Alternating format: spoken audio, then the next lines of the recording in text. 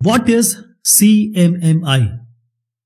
Now here you see Department of Defense along with Carnegie Mellon University and Software Engineering Institute. So this CMMI capability maturity model integration. This is a framework that is process improvement framework. It is proven and this is employed to improve the product quality. So CMMI is equivalent to quality and also the development efficiency, not even for hardware, but software as well. So as you see these two pictures, United States Department of Defense, CMU and SEI, they all are involved in developing it. There are various giants like Motorola, Ericsson, many more, they are involved in the CMMI definition.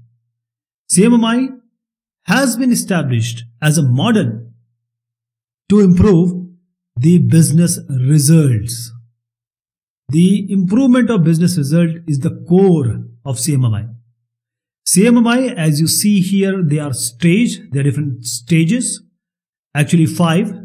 They use five levels to describe the maturity, the level the organization has attained in terms of quality. Same as the previous one, the predecessor CMM, Capability Maturity Model. And this CMMI is vastly improved version of the earlier CMM. The basic emphasis is on business needs, integration, and institutionalization. CMMI stage representation. There are five maturity levels of organization. Every organization is characterized as one. So if the organization is level one, it is called initial. All the processes. What does processes means? All the way the work is done and a combined task and activity combination. So the processes are unpredictable, poorly controlled, and often the approach is reactive, not proactive. Something happens, then we react. If some organization is at level 2, it is called as managed. Processes, let me give you one more example. In software development lifecycle, SDLC, there are different, different uh, processes. For example, if you choose any of these waterfall or say spiral, you have a design phase. So that design is, is called as processes, all the activities and tasks involved. So in level two, the processes are planned, they are properly documented, and whatever is written in the document, they are performed and even monitored, that is reviewed and controlled. If something is not going up to the plan, they are controlled. But all this is at the managed level is only at project level. This is very important. Only at the particular project level. Managed is also often reactive. Okay. So these two are uh, reactive.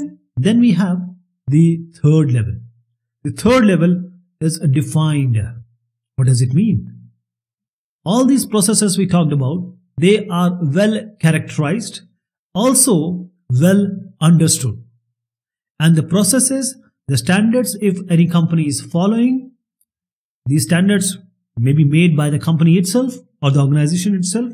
All the procedure, how to do the work, the task and activities, and the tools used to do that. These are all defined not at the project level, but at the organizational level as a whole. So, an organization may have multiple projects. I'm talking about all these at the organizational level. This is proactive. At defined level, proactive. Quantitatively managed. Level 4. Now here we talk about numbers. Processes. See, if you are at level 3, you are already at level 1, 2, 3.